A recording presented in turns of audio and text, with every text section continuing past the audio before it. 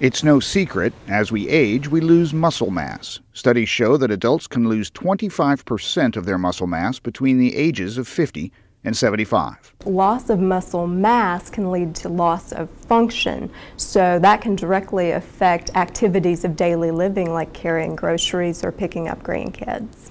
So, Amy Ellis, a doctoral student in UAB's Department of Nutrition Sciences, is working with people like Connie Richards in a clinical trial of a supplement called Juven that might improve muscle mass in older adults. Juven has been on the market for several years, mainly for wound healing. It comes as an orange flavored drink mix, and the main ingredients in Juven are two amino acids, arginine and glutamine, along with a metabolite of the amino acid leucine. Amino acids are the building blocks of proteins, and we get these amino acids in protein foods that we eat every day, like meats and dairy foods and soy foods.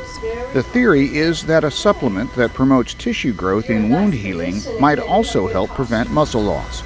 Ellis is studying generally healthy older adults like Richards to see if the supplement improves muscle mass and function overall goal of the study is to improve muscle mass, uh, but we're not just interested in muscle quantity, we're interested in muscle quality. So we'll also do some assessments of muscle strength and functional, functional ability in our gymnasium.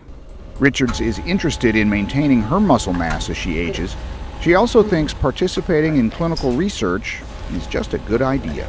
Well, it makes me feel very fulfilled. It is a very satisfying feeling to know that if I'm doing something that will help in research, then I, as I said, I've made a, a small contribution. My father died with Alzheimer's disease, and so perhaps more than most people, I am aware of the need for research.